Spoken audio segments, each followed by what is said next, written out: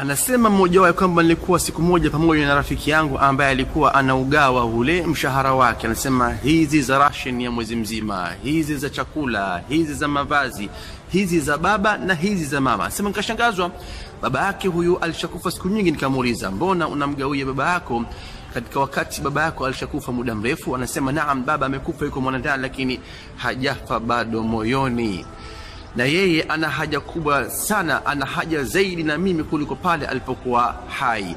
Naam, ndugu zangu Waislamu, huyu alikuwa na hikma iliyokuwa kubwa, hajamsahau baba yake. Na Mtume sallallahu alaihi wasallam anasema idha mata ibn adam qata amalahu illa min thalath anapokufa mwanadamu katika amali zake isipokuwa kwa matatu: sadaqatun jariya, kama tacha sadaqa yenye kuendelea au waladun salihin yad'u la, au mtoto mwema ambaye atamwombea dua, au ilmu yuntafau bih, au ilmu ambayo itanufaisha watu baada yake. Na bila shaka ndugu zangu Waislamu, wafu wana haki vile vile, na haki zao hazikatiki kwa kuwa wao wamekufa. Tuzifanye kazi ndugu zangu Waislamu, tuwe kama kijana huyu, hajamsahau baba yake, na usimsahau mpenzi wako, yeye ana haja na wewe kuliko pale alipokuwa hai. Mkono kwa mkono hadi peponi.